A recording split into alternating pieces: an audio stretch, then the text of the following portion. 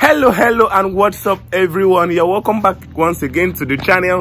In this video i'm going to be telling you guys rabbits that are meant for meat production rabbits that are meant for fur production and also rabbits that are meant for pets. So a lot of you guys just go into rabbit farming based on the fact that you just love rabbits. You just love seeing them around. That was also why one of the reasons why i went into rabbit farming. I just love them as an animal. I just love the way they look. I saw them through my friend's place and i had to get them too because i love the way the rabbits were actually looking. In this video i want to be explaining to you guys before going into rabbit farming currently i don't want you guys to make some of the mistake i made as a rabbit farmer. Before going to rabbit farming make sure you know the purpose by which you are going into rabbit farming for why you're actually going into rabbit farming and also your target market because when you start production that's where you have an issue if you don't actually learn from what i want to be sharing in this video. So yeah, welcome back to the channel. In this our channel we teach you how to become a successful rabbit farmer and a successful rabbit breeder and also a pet owner. So if that's what you find interested consider liking this video and subscribing to our youtube channel.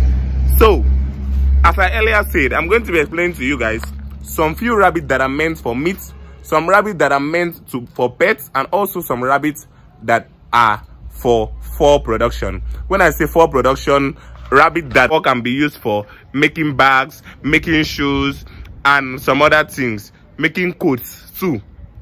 So let's start from the meat aspect because that's one of the most popular reason why most people go into rabbit farming for meat. Yes. So the rabbits that are best for meat are the rabbits like the new zealand whites I'll be showing you guys the picture of it on the screen also. Rabbit like the New Zealand whites because this particular rabbit actually has a very good meat to bone ratio. This particular rabbit can weigh from about 4 kg to 7 kg depending on how well it's being fed. This particular rabbit can live for um a lifespan of about 4 to 8 years. So the New Zealand white rabbit is a very very good rabbit breed for meat production. The number two rabbit I want to be talking about for meat production is the Palomino rabbit. Palomino rabbit is a very, very good rabbit when it comes to meat production. Palomino rabbit also can weigh uh, about 4 to 6 kg depending on how well it's being fed. One thing you guys should know is that all the rabbits do have what they call dwarf breeds and medium breeds and high breeds. Then they also have what they call the pure breeds. A New Zealand can be a dwarf breed, a New Zealand can be a medium breed, a New Zealand can be a dwarf breed, and a New Zealand also can be a pure breed. So don't get mistaken when they say New Zealands are all when they say New Zealand's are hybrid, you can see a dwarf breed New Zealand, yes, depending on the line it's actually coming from. After all, some New Zealands are pure breeds, while some are hybrid. The pure breeds are actually better growing than the hybrid. So a lot of them have different things we are also going to be explaining in videos to come about all this kind of stuff yes. We are still also going to be meeting some experts that will be talking to us about a lot of this. We are working towards that. So there are a lot you can actually learn from this our channel. The channel is actually a very interesting one. You should not miss out. Just subscribe if you are yet to subscribe. Also another um, rabbit i'm going to be talking about is the american chinchilla. The American chinchilla rabbit is also a very, very good rabbit when it comes to meat production.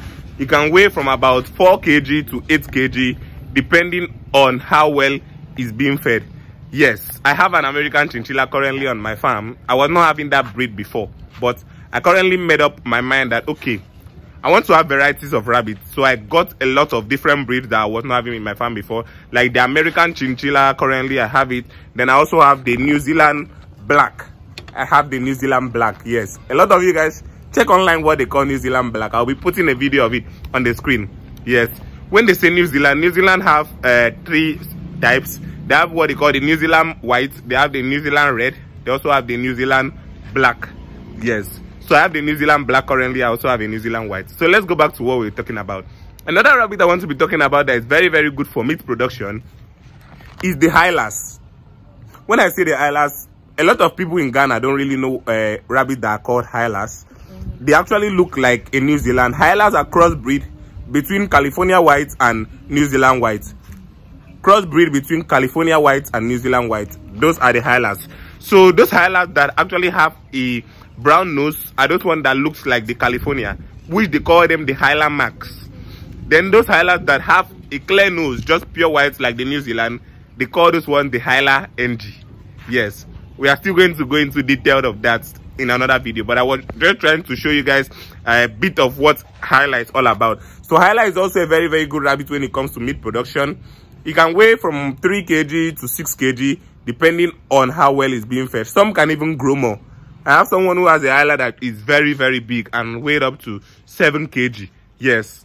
So it depends on how well you feed your rabbit and the line the rabbit is actually coming from. You can even grow more than the average of what they're actually saying online that your rabbit can grow to. Your rabbit can even grow more than that.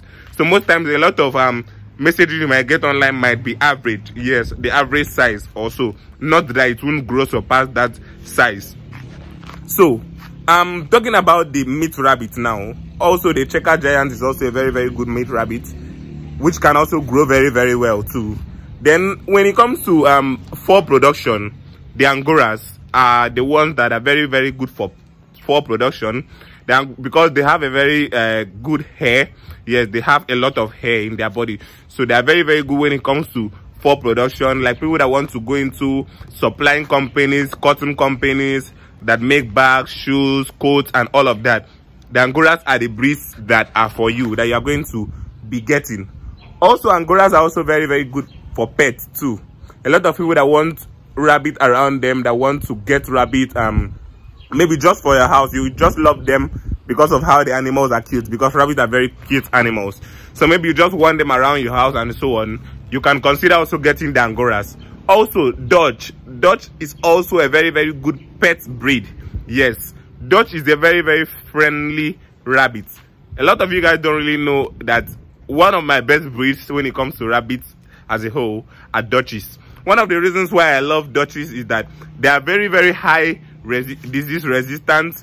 Dutchies can get sick, but the chances of them dying is very, very slim compared to the others because they are very, very, um, uh, they are very, very high in disease resistance. Yes, that's one thing I've noticed about Dutchies. Not just from my own experience, a lot of experienced farmers have also shared this with me too so that's one of the reasons why i actually love dutch so if you are someone that's just starting up a rabbit farm maybe you don't really have a lot of experience you can just consider getting dutchies so that uh, their parenting instinct is actually very very good when it comes to taking care of the kids. Dutchies are also very good when it comes to that too. So for the pet breed dutch angoras can be for a very very good pet breed so for those uh, rabbit i mentioned for the meat breed if you know you are going for rabbit farming if you know you are going into rabbit farming because of meat production consider getting the new zealand white consider getting california hyla max um american chinchilla checkered rabbit too. But if you don't want to get all this breed the one breed i will um recommend for you is the new zealand white because that's one of the best when it comes to meat production the New Zealand white. So I hope I've actually tried to explain a bit of things on this video. Please do well to like this video. Subscribe to the YouTube channel. Currently we are at 6,000 subscribers and still running. Before the end of this year, we are going to hit 10,000 subscribers. So subscribe to our YouTube channel. Turn on the notification bell. Like this video. If you are yet to like, also share to your friends that also rabbit farmers that want to learn a lot of things because we have a lot of videos on our channel that can actually teach you. Thank you for watching this video. Do have a nice day and until next time peace out